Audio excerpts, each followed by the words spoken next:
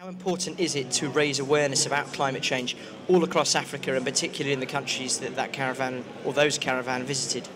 Well, it, it was uh, quite a, a, big job uh, trying, especially to fundraise uh, to be able to get uh, uh, to support this group coming. Uh, also, we are very pleased. we have quite a number of supporters who came to our aid, and it was not a very simple thing. And we do really uh, thanks PACJA uh, to have spearheaded this. And uh, PACJA, we had been working with the uh, Kenya Climate Change Working Group and other partners in uh, many countries to organize for this uh, caravan, which we hope it is a success.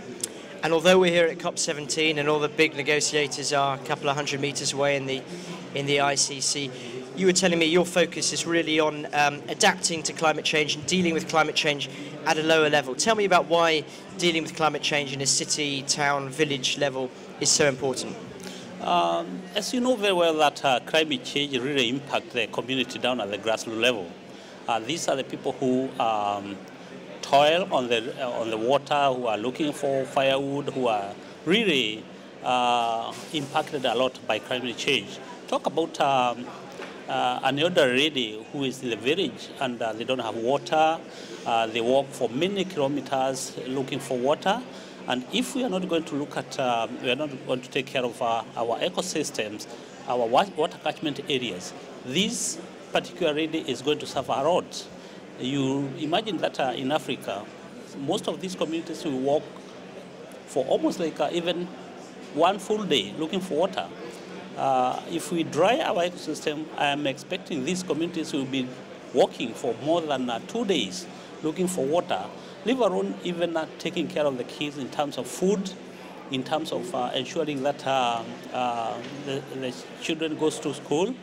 Uh, so, uh, you know, uh, you can imagine in 20, 30, 40 years to come, if they are walking for two kilometers, then they'll be walking for about 100 kilometers looking for water. So that's why we are very much particular on uh, reaching the consensus on climate change in this conference. Sure, and you're from Kenya, and you were telling me about the problems that Kenya faces. Give me, give us an idea of, of the, the issues around climate change and Kenya. I know there's obviously been a, a famine and a drought in the Horn of Africa recently, and that must have put pressure on Kenya's resources.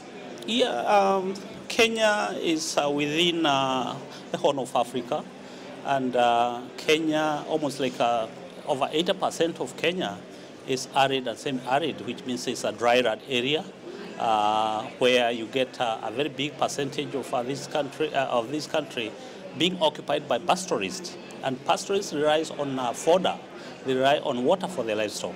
They don't have any cash in the bank.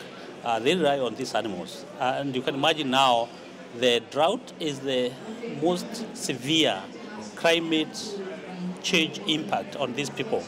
Uh, drought, uh, sometimes you get uh, flood water, and because of uh, land degradations, uh, because of these animals and all that, you get these communities moving from one region to another. So we, we are talking about uh, conflict on uh, resources, we are talking about uh, diseases for animal uh, livestock, we are talking about uh, other impacts which are related to climate change. And what do countries like Kenya need? Is it, is it money? Is it advice? Is it education? Well, in Kenya, we need a really uh, technological transfer. Uh, we, are, we are looking at uh, maybe, uh, right now, Kenya is developing what we are calling a, strategic uh, investment framework, which is going to bring all the partners together to be able to uh, fundraise, to bring money in one pocket to address the issues of sustainable land management, land degradations, and droughts.